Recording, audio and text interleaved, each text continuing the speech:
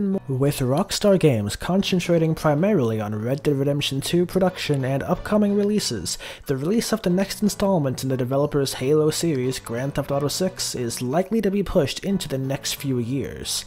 At this point, though, with GTA 6 pretty much an enigma, speculations have arisen about things that Rockstar might do to make its next blockbuster game even better than before.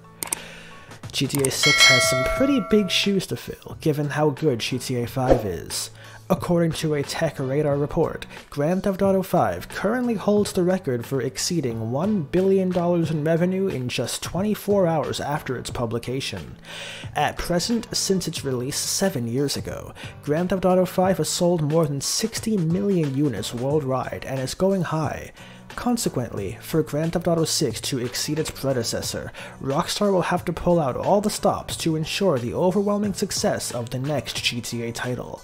Here then are three notable changes that could be introduced by Rockstar which would guarantee the efficiency and success of Grand Theft Auto 6. One of the reasons Grand Theft Auto V was such a big hit was the fact that playing with multiple characters as premise and intertwining plots was unique and interesting. However, although the premise was well developed, many gamers noticed that the plot of GTA V was actually just too short to do justice to the three protagonists of the game and their respective histories. While the game itself is big on its own, the duration of the plot left the game much to be desired. With Grand Theft Auto 6, it would be prudent for Rockstar Games to make sure the game is much more complex and detailed than before. Multiple protagonists for Grand Theft Auto 6 have also already been speculated, with some even saying that a female protagonist could be in the works, so there's enough space for Rockstar to fill out even more of the main characters of the game. There is no doubt that if the developers could achieve this, the game would be even more popular than its stellar predecessor.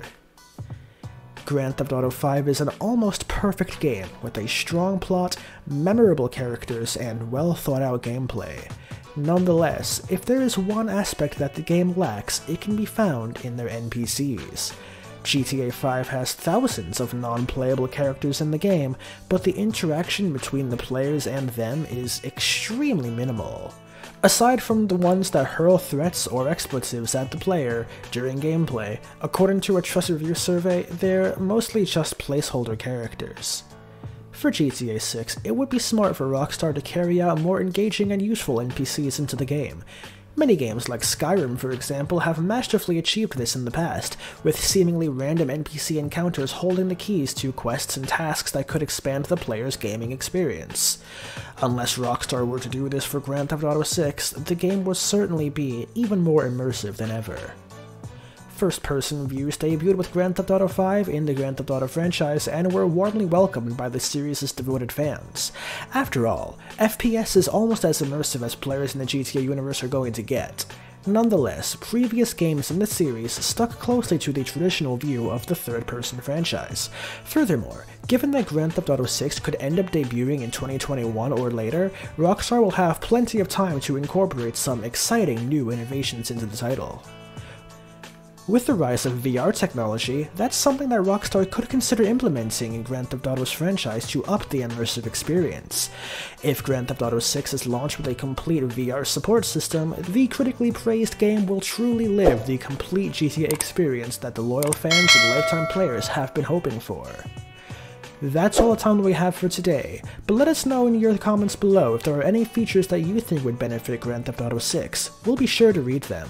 With that, we'll see you guys in the next video.